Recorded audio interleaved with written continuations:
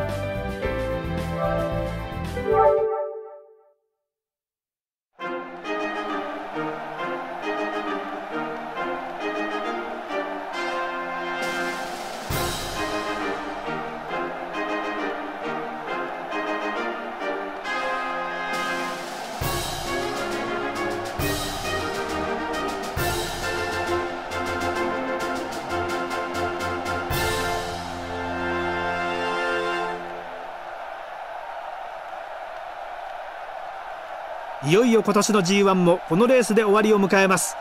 今年1年ターフを沸かせたスターホースたちが冬枯れの中山競馬場に集結。さあ日本競馬の総決算夢のグランプリ有馬記念の発送です。さあ最後は大外枠の東海帝王ゲートに入って体勢が整いました。スタートしました。三栄三級。これは好スタート。メジロパーマー。この馬も好スタートを切りました。ミホノブルボン。前に行きそうです。ミホノブルボン。競りかけていきました。その外にメジロマックイーン。ナイスシャワー。そのうちに続いています。その後ろに藤山健山。並んで6番カリブソング。三栄三級。この馬もこのグループ。マイネルキャップ。それに続きますさあこの辺りで各馬正面スタンド前を通過します。では前の方から見てみましょう。大宅ヘリオス先手を取りました。そして大きく離れてメジロパーマー。この位置です。黄色の帽子メジロマックイーン。その後ろ好位置をキープしています。ミホノブルボン。少し開いてナイスシャワー。そしてやや離れてレガシーワールド。この辺りで12コーナーの中間点を通過。先頭から最高峰までおよそ20馬身。これは縦長の展開です。一番人気のミホノブルボン。現在先団に取り付いています。東海帝王。前走に続いてここも連勝なるでしょうか。もう一度先頭から見ていきましょう。先手を取ったのは大宅ヘリオス。そしてやや離れてメジロパーマー。黄色の帽子。メジロマックイーン。その後ろミホノブルボ。ン5位をキープ。大きく離れました。ナイスシャワー。これに続くのがレガシーワールド。この辺りで各馬第3コーナーに入ります。さあ先頭はメジロマックイーン。2番手はミホノブルボン。絶好の手応えです。大宅ヘリオス。3番手おっと1頭競争中止か。三栄3級。競争中止です。これは大変なことになりました。レースの展開にも影響が出そうです。さあミホノブルボン。このまま逃げ切れるでしょうか。最後の追い比べ先頭はミホノブルボン。残り 200m 一気に後続が襲いかかってきた。ミホノブルボン差を広げる。2番手はメジロマッククイーンミホノブルボン1着。ミホノブルボン完勝。ミホノブルボン1着。2着はメジロマックイーン。これが絶対王者だ。ミホノブルボン。